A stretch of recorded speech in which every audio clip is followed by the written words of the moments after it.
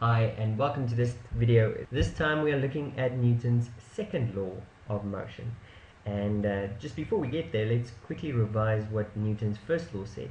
Well, the first law simply said if we had an object that was in motion, that object wants to stay in motion.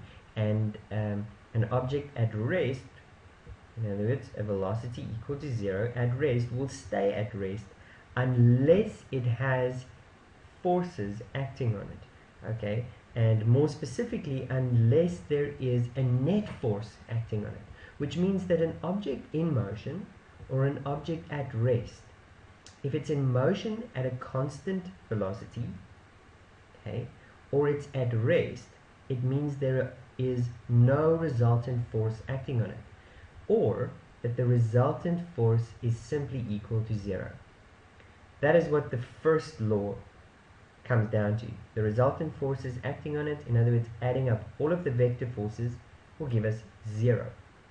Now, what does the second law say? Well, the second law says the following. It says that when a net force, that's of course referring to the resultant force, when a resultant force acts on an object, so this time we have a force acting or a resultant force acting on an object, the object accelerates in the direction of the force okay so instead of moving at no velocity or moving at a constant velocity it will be accelerating.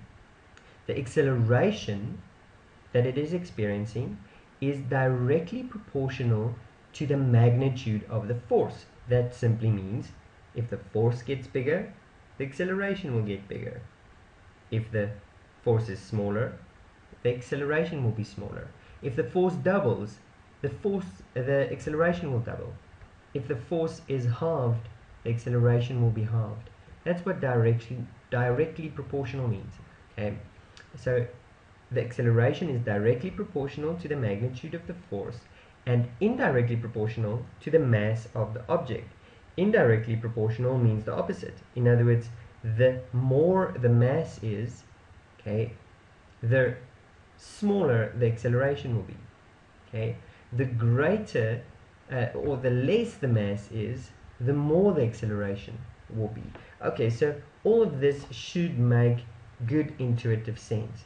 So I like the example of a car, even though I should choose examples where drawing it might be easier. Okay, so excuse my boxcar drawing. Okay, but there is a car, and consider the engine of the car. Okay, there's the engine of that car. And now imagine the force that that engine can supply to the car. So the more powerful the engine the greater is the force that it can drive this car with. So a stronger engine will be able to apply a stronger force to turn the wheels of this car. Okay? Which means its acceleration will be greater in other words from 0 to 100 kilometers sorry per hour okay it can do that quicker. That means its acceleration is quicker. So for example my car takes about 20 seconds to do that okay?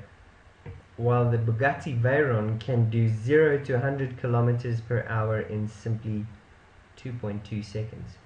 That's quite embarrassing isn't it Okay, so why can the Bugatti do that? Well, there's a few reasons, but one of the main reasons is simply because, well, obviously the main reason is simply because it has a more powerful engine um, driving that car's acceleration. So because that more powerful engine can supply a greater force to the turning wheels, it will obviously have a greater acceleration. Okay, so we conclude the first thing that when the force that is being applied, the net force acting on an object is increased, the acceleration will increase. And obviously, when it is decreased, the acceleration will be smaller. Okay, how about uh, the mass? Well, now take that Bugatti's engine and put the Bugatti's engine in a massive truck.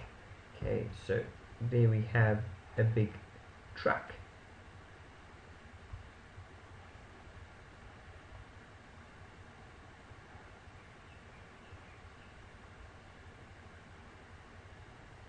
And put that same engine in this truck.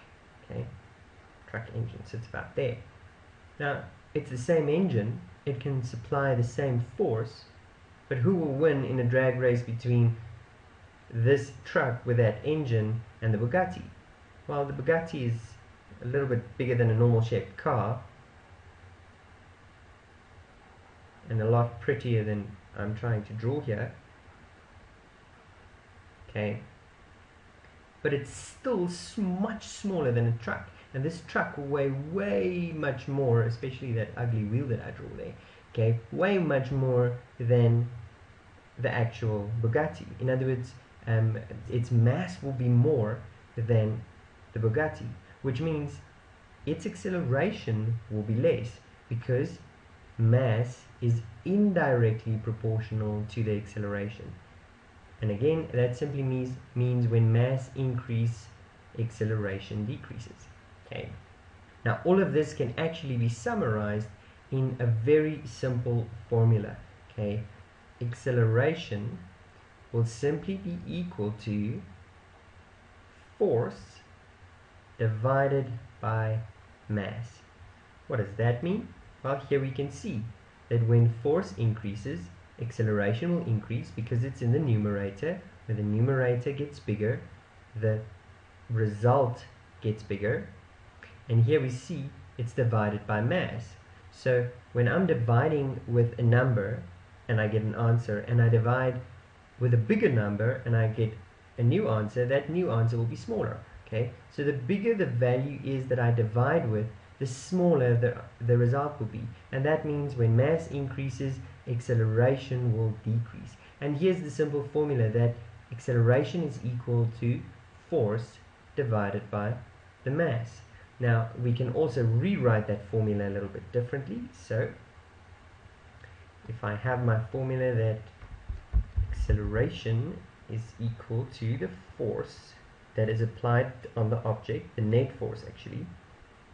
So it should actually be the resultant force divided by the mass of the object okay then I can also just solve for this resultant force. So I multiply both sides with the mass of the object okay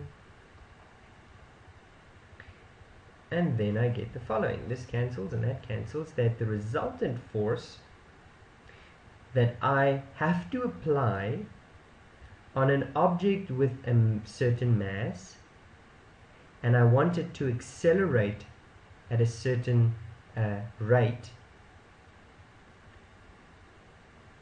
is calculated by taking the mass of the object multiplied by the desired acceleration okay?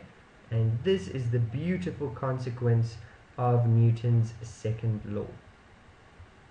Let's have a look at a few examples